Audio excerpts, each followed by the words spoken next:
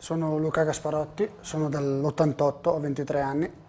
Sono già ormai tre anni che lavoro in, in agricoltura.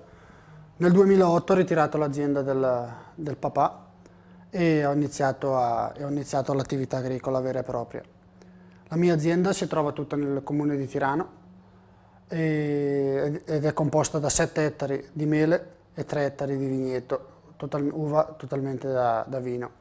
Nella mia azienda lavora, lavoriamo io e mio papà, aiutati da alcuni operai abbentizi durante le, le principali operazioni del, di raccolta e, di, e durante l'estate.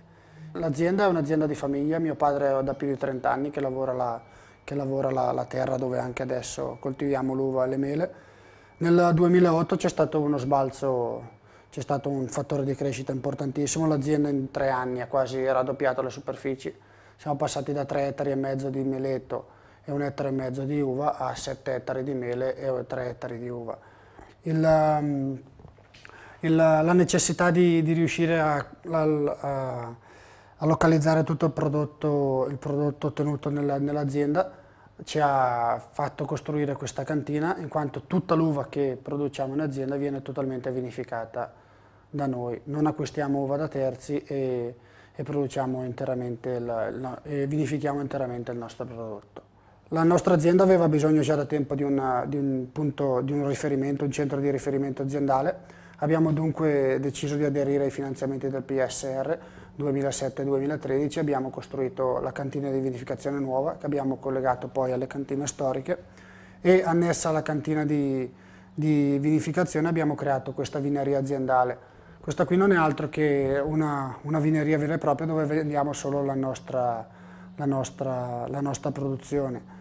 È un vero e proprio agriturismo perché si vendono oltre alla nostra produzione solo, solo prodotti di aziende agricole del territorio. Questa vineria una, è un importante sbocco commerciale, noi riusciamo a vendere il più del 40% del nostro prodotto che è comunque un prodotto di nicchia, sono, si parla di 10-12 mila bottiglie all'anno, solo qui il resto, la restante parte del mercato è provinciale, regionale, ci stiamo muovendo in ambito nazionale, ci, siamo, ci stiamo muovendo leggermente anche sull'estero, però è molto, è molto, difficile.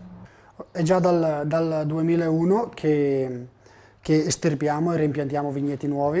I nuovi vigneti eh, su, su 3 ettari, quindi un ettaro e mezzo, il 50%, sono già completamente meccanizzabili, ossia prima del 2001 dovevamo fare il 100% delle operazioni manuali in vigna, mentre adesso il 50% è già completamente meccanizzabile, ossia attraverso dei trattori molto piccoli riusciamo a, riusciamo a lavorare i vigneti.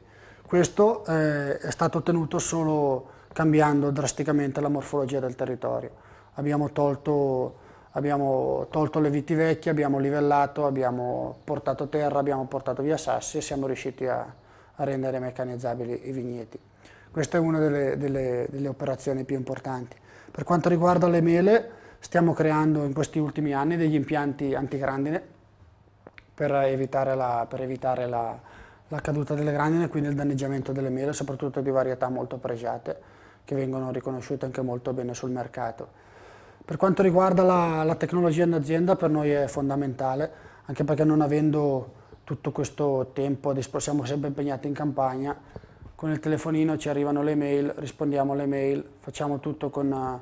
Facciamo tutto, diciamo che posso tranquillamente dire che il, il 50% delle vendite del vino riusciamo a farlo senza essere presenti in azienda, quindi ci arrivano gli ordini, noi sappiamo in tempo reale l'ordine che ci è arrivato, dopo ovvio provvediamo noi a andare a consegnarlo, però ecco, cioè, siamo sempre assistiti da quel punto di vista, quello è fondamentale. La, web e, tutto che, e, tutto quello che, ne deriva.